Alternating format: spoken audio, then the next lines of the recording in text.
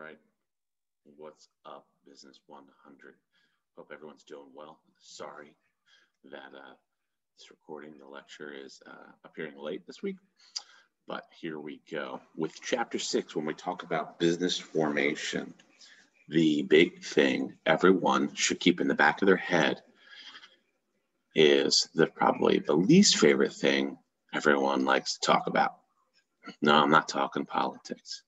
I'm not talking religion. Talking taxes.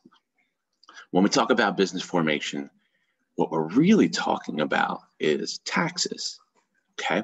Now, while we have the right to choose uh, to become business owners, we have the right to keep profits, right? The government has a right to taxes, right? We have roads, we have police, we have fire departments, uh, we have some of these services that we don't really think about every day, but here we are. Those taxes go to help support those services. So when we choose a business, we are essentially choosing how we want to be taxed. So let's jump right into the slides and take a look at specifically what we're talking about.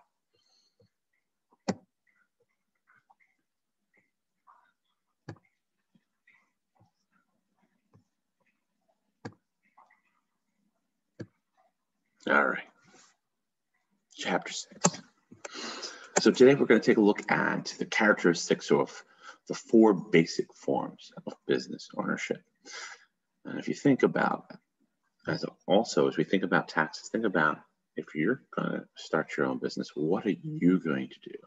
What type of business formation would you choose, right? How would you become a bar? What business ownership format would you choose? Discuss the advantages and disadvantages of a sole proprietorship, the pros and cons of a partnership as a form of business ownership, why corporations have become the dominant form of business ownership, explain why limited liability companies are becoming an increasingly popular form of business ownership, and taking a look at the advantages and disadvantages of franchising. So when we talk about forms of business ownership, what we're really talking about is uh, one of the easiest ways to get started, the easiest ways to have your own business is by being a sole proprietor. Okay, in a sole proprietorship, company earnings are given the same treatment as the owner's income. The debts incurred by the company are treated as the owner's debts. There are several different types of partnerships. Originally, when I uh, first started our a, business with my wife, our business was a sole proprietorship. The biggest advantage to a sole proprietorship is the ease at which it takes to get started. Okay. Um, here in San Diego, you fill out a license. Um, here they have what's called a business tax certificate. Once you fill that out, you're off and running. Okay, that's it. And in San Diego, in particular, it's a $35 fee. So essentially, if you have 35 bucks, an idea, product, or a service you want to sell, you're off and running. You got yourself a business, right? Uh, partnerships, there's a lot of different partnerships out there. Okay. got general partnerships. These guys take an active role in managing their businesses. They have unlimited liability for claims against the firms, meaning that you have a store, you have a general partnership, someone slips in your store, they can sue you, right? You have no protection. Okay. Now, corporations is probably the most popular form of business ownership in America right now. A business entity claiming to be a corporation has to file the articles of incorporation with appropriate state agencies, pay the state's incorporation fees, and meet other requirements. Corporations are like uh, people because they can lawfully participate in all business activities that a natural person can participate in. Uh, we switched from a sole proprietorship, my wife and I, with our company, Business Bridging Solutions, to a corporation. The biggest advantage, again, taxes. As a sole proprietorship, we were both taxed on income that we paid ourselves and the income the business made. Here, with a corporation, we're taxed separately in that, okay? The amount of deductions and the amount of things that you get to write off from a tax perspective, it's much more advantageous uh, when you set up a corporation than when you are as a sole proprietorship. Our tax liability decreased significantly uh, when we be uh, transferred from a sole proprietorship to a corporation. So that's the biggest advantage that you'll see for small businesses. Limited liability company, also known as an LLC, are legally considered to be separate from their owners. Here we go, same scenario. You have a store and someone slips and fall. They can't come after you personally, right? They can try and sue the corporation, right, the LLC, but they cannot sue the owner individually, personally, for that slip and fall. Okay, so that is the biggest advantage for someone becoming an LLC. Here we go. Some of the more, more the advantages and disadvantages of sole proprietorship. Okay, the paperwork and costs associated with sole proprietorships are minimum, as I've already described, right? The owner is in full control of the business and retains all of the profits. Banks and other financial institutions are skeptical when it comes to lending money for sole proprietorships. The debts of the business are treated as the owner's personal debt. Paying salaries and that talented employees demand becomes difficult, and the owners tend to work longer and under a lot of stress. I'll tell you right now, the stress level between being a sole proprietorship and being an S corporation is the exact same. If you're going to be a small business owner, you're going to have stress. It's just that simple. There's no getting around it. So um, keep that in mind if you're considering becoming your own boss and having your own business. There is just stress that naturally comes with it. Most people take that as a sort of a, a given, right? Um, you have a lot of advantages to being, being a business owner. You have control over your time, your schedule. Um, a lot of times you feel like you have control over your salary because the, the harder you work, the more successful your business, the more salary you can generate, right? Uh, so there's there's there's give and take on uh, business ownership. If uh, as a sole proprietor, if you're the owner, you die or retire or withdraw from the business, essentially the business is done, right? Because you're the sole proprietor. Now, in general partnerships, um, a partnership is formed when the partners enter into a voluntary agreement. Partnerships based on verbal agreements can also be legitimate. Well written agreements can prevent a lot of common misunderstandings. Um, this is important. Lawyers, expensive. Contracts, expensive. But it does clear up a lot of misunderstandings and it does protect both partners. Highly, highly, highly, highly recommended. All right, some of the advantages and disadvantages. Partnerships have strong financial basis because there is more than one person involved. Uh, one of the advantages of working with my wife is that we complement each other very well. Our skill sets are very different. Uh, what I'm naturally strong at, she's not, and vice versa. And thank God for that because she's really good at figuring out processes and um, details. I'm sort of a little bit more of a big picture, uh, charge ahead uh, type person. Uh, on the flip side, I'm really good at presenting something I've always enjoyed. I've grown to enjoy over the years. And while my wife can do that, she prefers not to. So we have very a very neat balance when it comes to that. Uh, the responsibilities and skills are better divided and shared between partners. And forming a partnership is also easy. Partners may gain certain tax advantages from doing so.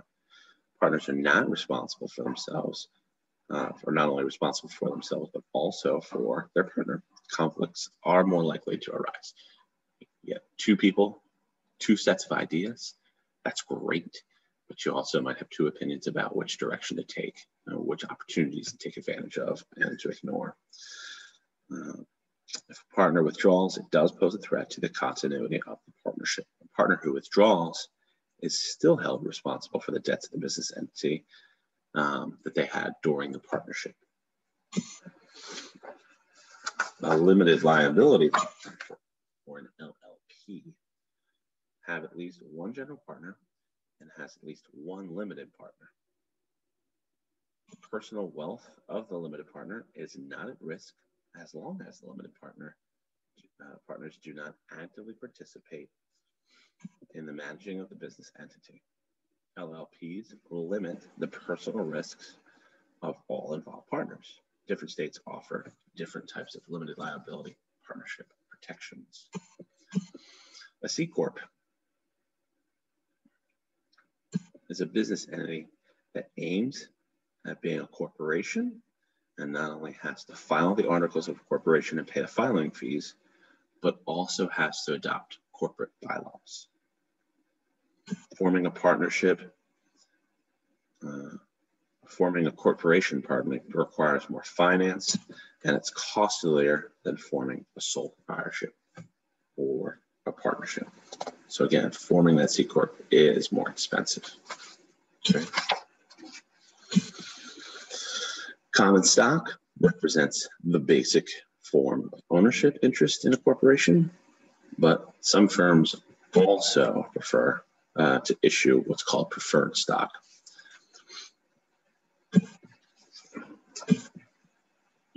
A board of directors establishes the corporation's mission and objectives, and the board is rarely involved in the day-to-day workings of the company. Um, from a small business perspective, you'll see a lot of business owners make a distinction between ownership, management, and board of directors. Um, sometimes small businesses will call these an advisory board, right? And these are folks who essentially will provide advice, right? They'll tell the owner um, or provide the owner with key observations about their business, about the market in which their business uh, is a part of, uh, and the community or the audience in which they're trying to serve. Advisory boards, especially for small business, I think are an excellent idea. Uh, it's different from a board of directors. There's not necessarily a CEO or COO, but rather these are folks that are specifically providing advice and looking to help the small business succeed. So keep that in mind when you talk about board of directors versus advisory board. There is a distinct difference.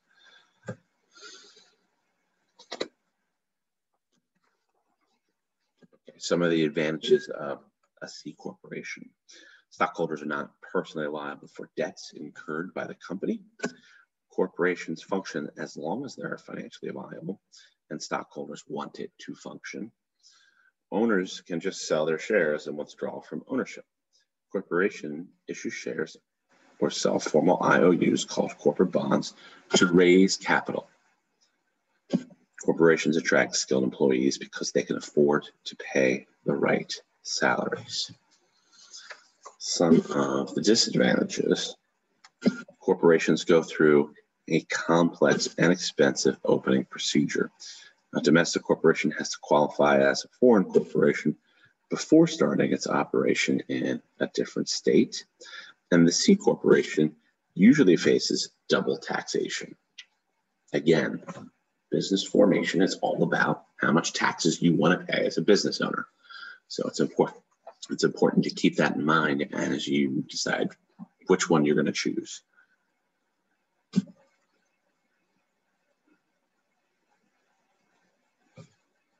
Okay, some of the disadvantages we've gone through, right?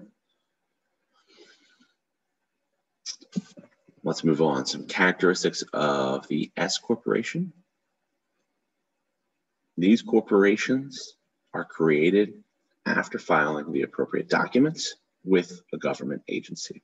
These corporations are legal entities that are separate from their owners. Right?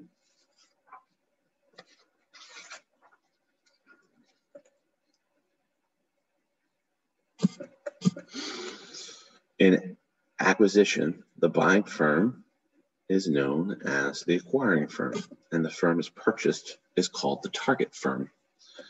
After the process is over, the target firm ceases to exist, but the acquiring firm continues to trade its stock. When we're talking about acquisition, we're talking about buying, right? One company buying another company. Um, at times, you'll see one company buy another company and then totally absorb it, right? The other company's gone. Uh, Sprouts, grocery stores. Back in the day, um, there were several different types of Sprouts. There was one called Henry's, and was the same concept, right? It was a fresh grocery store, right? A lot of fresh food, fresh vegetables, sort of the more the healthier options out there. Well, Sprouts continued to grow and they bought out Henry's, and Henry's ceased to exist. All Henry's grocery store location became Sprouts as well. So Sprouts was the acquiring firm, Henry's was the target firm. And once the deal was finalized, all of the different Henry's locations became Sprouts. They ceased to exist.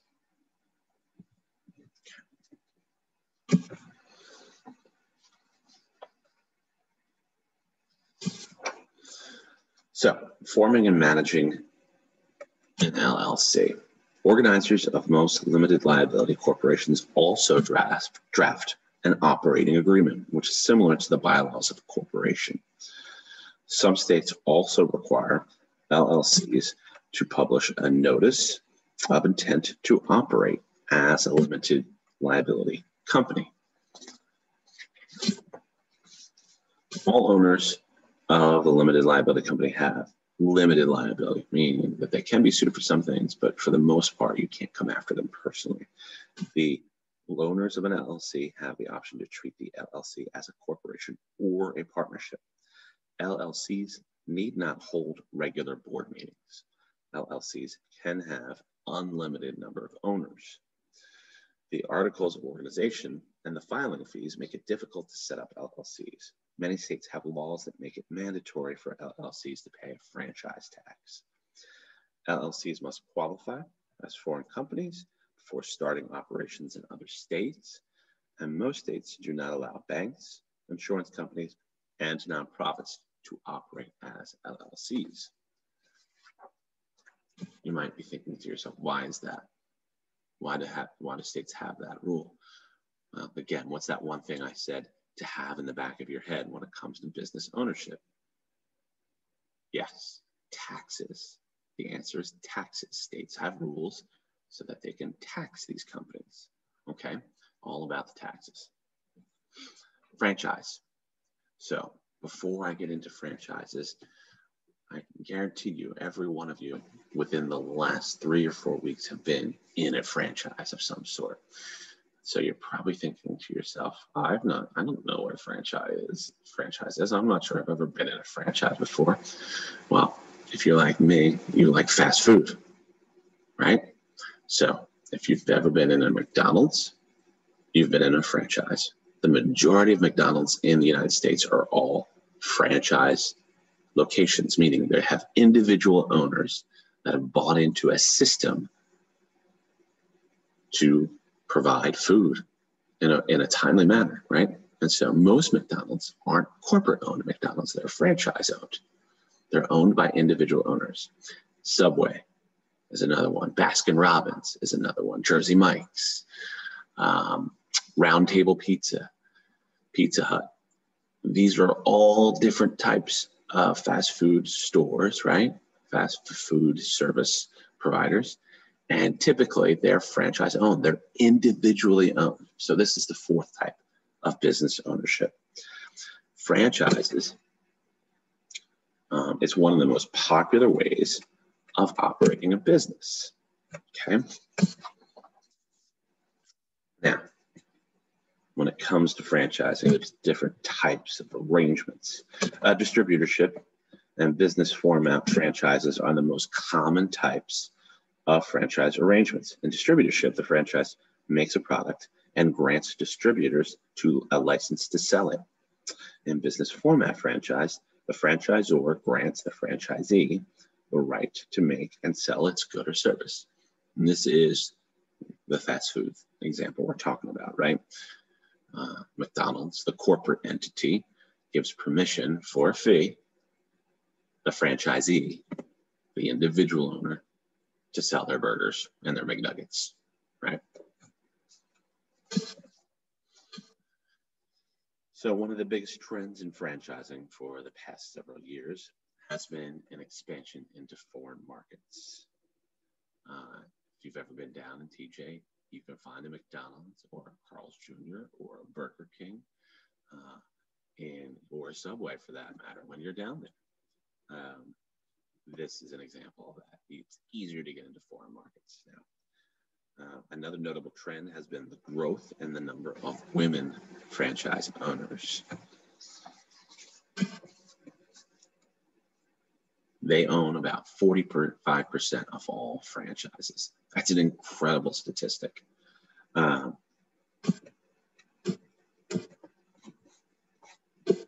here, I don't want to skip over that. Minority participation in franchises has been relatively low. And the reason for that is that it's not easy to get into a franchise because the licensing involved with it, there's a lot of upfront money that you need to provide in order to become a franchisee. Um, and so let's jump into the advantages and disadvantages. So franchising is less risky. It's less risky because they've already got a system, they've already got a product, and there's national name recognition, right? Franchisees are usually trained and supported by their franchisors. Franchisees attract customers because they enjoy the instant brand recognition, right? Banks and other financial institutions don't hesitate to loan funds to franchisees as well. So there's easier access to funding. The initial franchise fee and other fees and the franchisor fee make franchising a costly process that upfront cost can be significant. Again, McDonald's, for example, some of the upfront costs can be anywhere from 125,000 to $250,000 for an individual store. So it, it does require a lot of startup capital. The majority of the control lies with the franchisor, not with the franchisee. You want to make triple cheeseburgers, right, at McDonald's uh, up until recently, or quadruple cheeseburgers, right? Up until recently, we've seen triple cheeseburgers come on the menu every now and again, but it's usually a cheeseburger a double cheeseburger. You, as the franchisee, right, the individual store owner can't make that decision to add that to the menu, right? Otherwise, you're violating the rules of your contract. Only corporate can make that decision. So you have no creativity when it comes to marketing, menu, product, etc. So that's one of the disadvantages. There's lack of control, right? A single franchisee's mistake can harm, uh, cause harm to the entire franchise, and franchise agreements restrict the franchisee's territory. Um, these are two of the big, the big disadvantages. Um, I always use uh, one of the, uh, the, the, the biggest, most public flameouts ever. Subway. Subway had the uh, their spokesperson, Jared. I don't know if you remember Jared, um, but I, I encourage you to Google Subway Jared. Where is he now? Uh, for an eye opening thing. He, he essentially got busted for child pornography and it did incredible damage to the brand of Subway. Um, and so, you know, you don't have, if you owned a Subway store, there's no way, obviously, you could control that. Um, so that type of mistake has a direct impact on your store, right? Uh, a lot of people see a story like that and they're like, oh, I'm never going to Subway again. I can't believe they have such such a guy as their spokesperson. You have no control, right? Um, similarly, you don't have any control over new product ideas, right? They launch a new product, you have to launch it.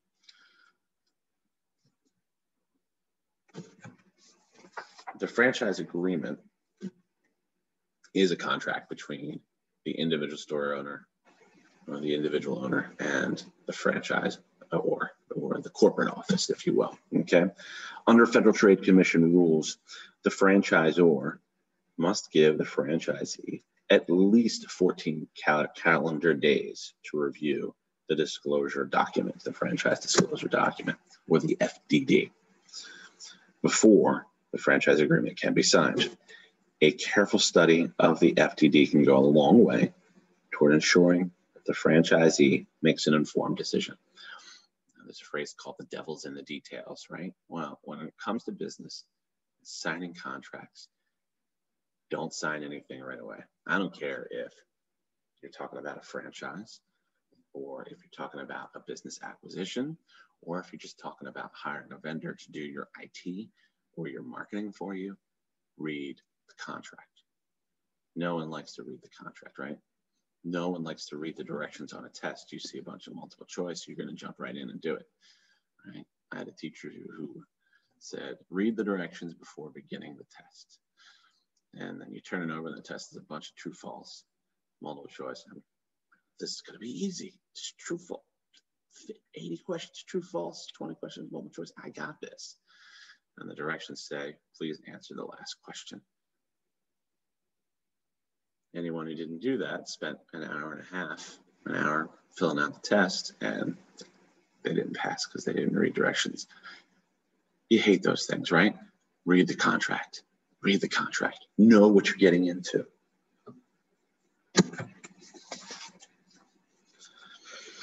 So terms included under franchise agreements, obviously terms, conditions, fees, and other payments, training and support, all of these things need to be looked at carefully. Um, these are key items normally covered in your franchise agreement. Specific operational requirements, conflict resolution, the manner in which the corporate entity and you as the individual store owner will go about resolving any kind of conflict assigned territory. This is one of the other big disadvantages, right? And, and I look at um, Starbucks as the perfect example. If you're a franchise or uh, a franchisee, a franchise owner, an individual owner, and you buy into Starbucks, right? Great brand, great coffee, great success, um, amazing company, right? But I can stand on the corner of Mira Mesa Boulevard and I have one, two, uh, two choices. Right? I can go to the Starbucks next to Cold Stone, right?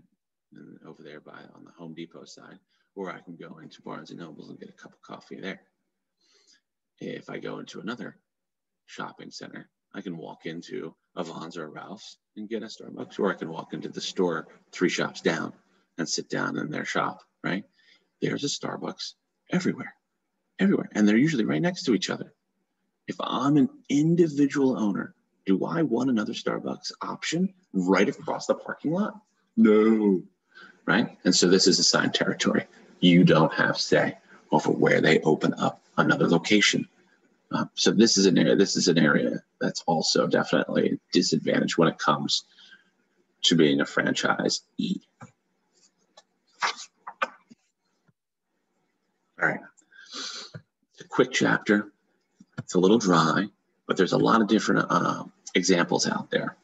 Uh, I've linked up uh, a second video that just shows how simple it is to get a license here as a sole proprietorship in San Diego. Um, it really is the quickest way to become your own business owner and the easiest way, right? Um, I, I have a friend who sits on the the San Diego Small Business Advisory Committee. Um, these are all business owners who advise the city on ways to make it easier for small businesses to start and flourish here in the city of San Diego. Um, and their whole thing when he first started was, can we get the startup fees to be as low as possible? And in its time, they got it down to $35. So this is, uh, again, the easiest way, especially here in San Diego, to start your business is to go through that route. So take a look at the video. It's less than two minutes. Um, uh, I encourage you to take a look at benefits of franchising. That's also available on YouTube. It, uh, it's just great background or context information for this chapter. Um, there, I know a lot of people who are actually have franchises um, and who actually uh, enjoy it. Um, I know a couple who own quite a few Jersey Mike stores here in town. Uh, so it, it, it's completely a viable business option.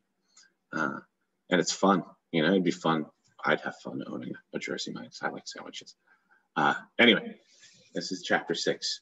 Continue sending in your assignments, your discussion boards. I love reading them.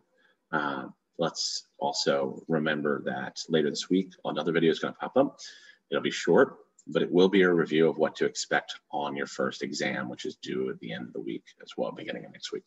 Uh, so good luck. Keep those emails and texts coming if you have questions or concerns.